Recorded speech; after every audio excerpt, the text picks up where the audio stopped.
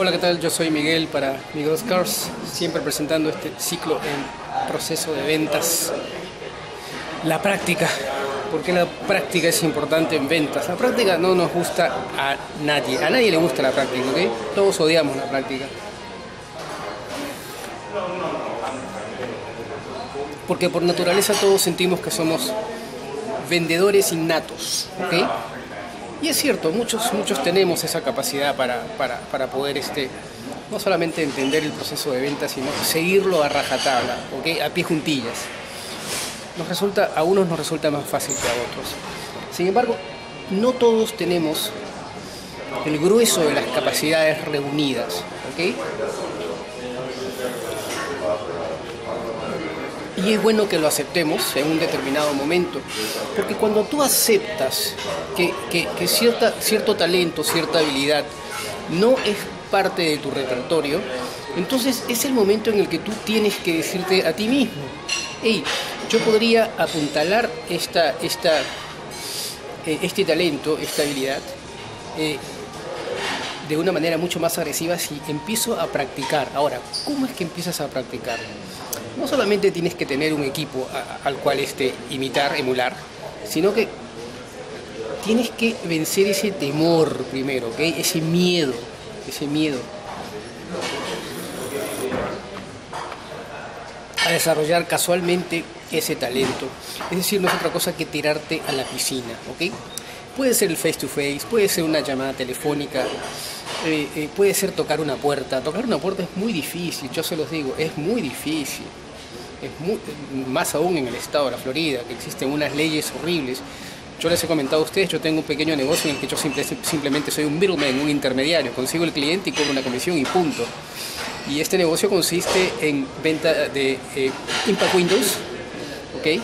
Windows son, unas, son ventanas para los, los huracanes, ¿ok? Seguramente este, ese tipo de ventanas no se venden en, ni en España, ni en Centroamérica, ni, ni en... Bueno, en Centroamérica de repente sí, porque hay muchos huracanes. Pero en Sudamérica, por lo menos hasta donde yo sé, no se venden. Aire acondicionado y remodelación de cocinas. Yo solamente soy un intermediario y eh, tengo armado todo un, un SEO, un, website, eh, un funnel, cosas que yo domino de digital marketing y cada vez que vendo me llevo una comisión muy, muy alta. ¿Ok? Pero para armar ese negocio yo tuve que hacer canvassing. Canvassing no es otra cosa que tocar puertas, el puerta a puerta. Y eso es duro y me costó mucho al comienzo, créanme. Yo, le, yo lo había hecho más jovencito, pero ya hacer, hacerlo de una edad adulta eh, y con el orgullo que uno tiene y e ir a tocar una puerta, este, no es fácil, no es fácil, ¿ok? pero yo lo he hecho y, si lo, tendría que hacer lo volvería a hacer, no, tendría ningún problema, pero hay que tirarse a la piscina y la única forma de, empezar a dominar o a sentirte más cómodo, porque eh, de, hecho hacer, algo que no te gusta es salir de tu comfort zone, ¿ok? Donde te sientes cómodo, donde te sientes tranquilo, donde sientes que eres una suerte de pez en el agua, ¿ok? Todos sabemos dónde es que nos rendimos más que los demás o, no estamos a la altura de los demás. Es ahí donde tienes que practicar más y te vas a llevar sorpresas. Llega un momento en que te empiezas a sentir cómodo, cómoda y, dices, caramba, yo pensé que esto era difícil, yo pensé que esto era jodido y no es tan complicado como parece. Y, el cliente que está del otro lado no es el monstruo que parecía, ¿ok? No es la bestia que parecía era que tú tenías un temor a no estar en capacidad de desarrollar esa habilidad, ese talento. Pero tú lo tienes, tú lo tienes y, vas a ver que empieza a salir solito, pero a partir de la práctica. Ahora, para esto tiene que haber un piso, tiene que haber todo un piso de capacidades de lo que yo ya he hablado.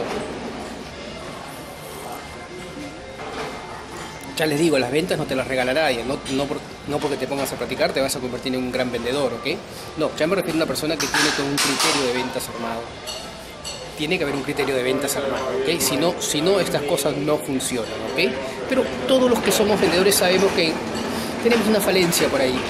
Y esa falencia hay que apuntalarla. Y la única forma de apuntalarla es practicando. Producto de vencer el miedo. Yo soy Miguel para Miguel's Cars, siempre continuando con este ciclo en proceso de ventas y en viaje de negocios en la ciudad de Tampa, Central Florida.